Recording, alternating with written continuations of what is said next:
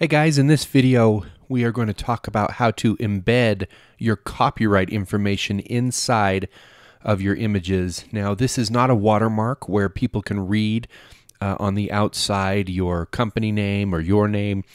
This is actually hidden inside of the image so that as it gets passed around on the web, your information goes with it. Now, this information can be stripped out, and so someone who's savvy would you know, if they're stealing your images, would strip that out. But for the average user, um, this is a great way just to keep your copyright information inside of um, your images. So let's go to the import dialog box. I just clicked on import from the library module.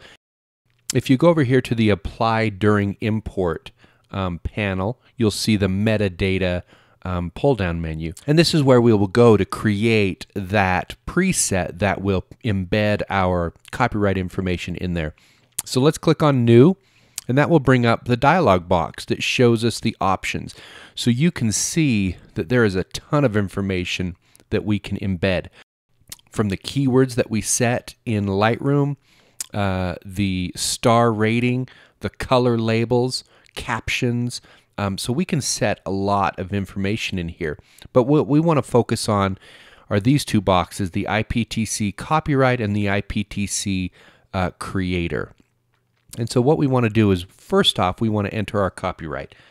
And so we do the copyright symbol by on a Mac holding down the option key and hitting the G key.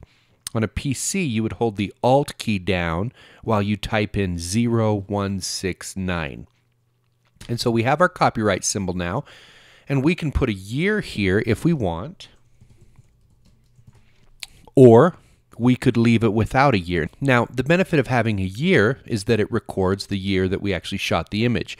But the problem with the year is that each and every year we would need to update this metadata preset. So you can do whatever you would please.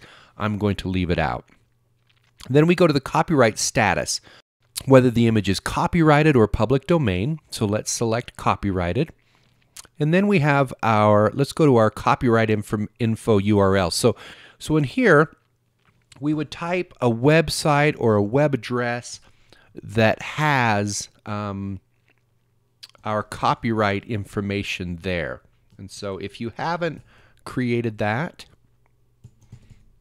you could create it or you could just put your contact link right there, whatever is easiest for you. Okay, and then your email address, which is important, and then your website. Actually, I forgot my S's here. All right, now I got to put an S up here too. Okay, so that's now been created. Now we need to title this preset. We need to give this preset a name. And so I'm going to do the copyright symbol again. And I'm going to type in Lightroom Hero. And so if I click create, that preset is now set. And you'll see under metadata, there's its name right there.